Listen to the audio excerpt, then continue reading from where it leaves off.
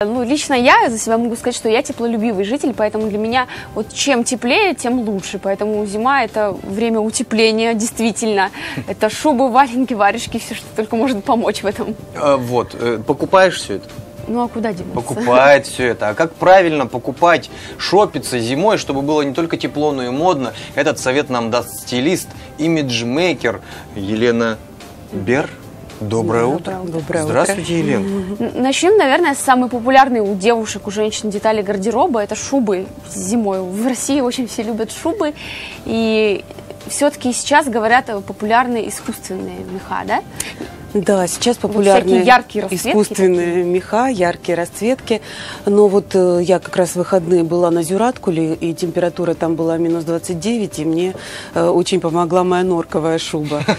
Вот, Потому что мне было совершенно в ней тепло. Я и вместе там со мной собачки бегали, всем было тепло. То есть искусственная шуба модная, красивая, яркая, но Не- для наших морозов, так? Ну, конечно, она вот такая больше декоративная. Хотя, конечно, когда вот у нас э, достаточно теплая погода для зимы, э, цве- разноцветные шубки, голубые, розовые, э, желтые, очень украсят наш не очень цветной город. То есть все-таки цветной мех носить можно. Да, потому что многие конечно. критикуют, что вроде как мех он должен быть и классических цветов, не розовый и не желтый. Да, ну сейчас розовое пальто, то есть хорошо быть девушкой не только в розовом пальто, но и в розовой шубке и в розовом пуховике. А для мужчин актуальна шуба сейчас? Ну, в общем-то, можно, конечно, поносить, Тоже но у нас это не принято. Понятно. да, кстати, понятно. как-то редко встречается. Не, ну я видел таких модников, это так э, Забавно. круто. Ну, Мне кажется, круто. Человек, который, мужчина, который может надеть шубу, это смелый Да, человек. это экстравагантно. Да, вот что касается обуви, ну, валенки у нас э, традиционно считаются теплыми самыми. Можно ли их носить? Модно ли это? И Сейчас чем же их есть можно всякие вот такие заменить? валенки, там, со стразами, еще с Э, чем-то. Это, Ну да. да, в этом сезоне мода как раз э, благоволит комфорту. То есть э, пришли э, в моду снова всякие олени, э, там норвежские рисунки на свитерах, э, то есть вот уют, э, тепло очага и так далее. То есть это прямо э, вот целый такой тренд. И поэтому э, мы видим даже и в летних, э, и в э, осенних моделях там туфли с мехом, э, тем более валенки, сапоги с мехом, уги с мехом, то есть э, прямо с такими большими пушками. Э, То есть это и уютно, и модно, и красиво, и тепло, главное. нам. А меня знаете, что удивляет сейчас популярно очень? Я даже не знаю, как это называть. Мюли, что ли, про них говорят. Мюли? Это тапочки с мехом. То есть это Да. как бы и не летом носить, и не зимой, получается.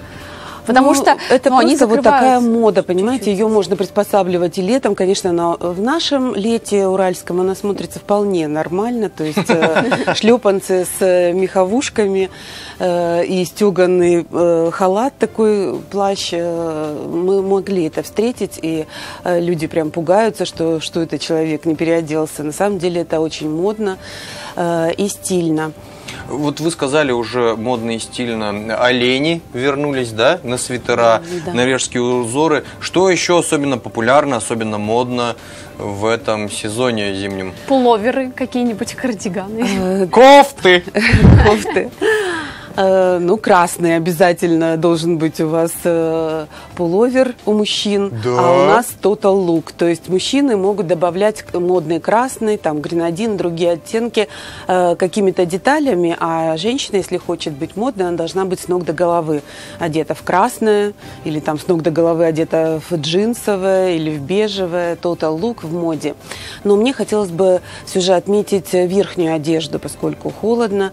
Э, Очень популярны и модные пуховики одеяла. То есть практически Да, как будто вы искала. и э, не вылезали э, утром из-под одеяла, просто слегка в него обернулись это, и как? А пошли. то, что они фигуру Он- он не бесформенный, подчер- да? Да, он бесформенный, но Да, он многие говорят, минус в том, что Да. ты как мешок в нем, и не видно ни талии, ничего. Ну, это тренд. Можно э, додумать. моды, Да, да, да. То есть э, вот э, сейчас oversize э, в моде, то есть снова приходят там широкие плечи, брюки, свободные фасоны, вот эти пуховики, все такое комфортное. Ну, время э, удобства. Так как еще бы же побыть боль- удобным. большой плюс э, в этих бесформенных вещах, что они очень теплые. Да, да, да. Да, Там как много раз места внутри. Можно по воздух, двое да. ходить. Можно по два свитера надевать. По два свитера. То есть э, мода прямо приспособлена под наши холода.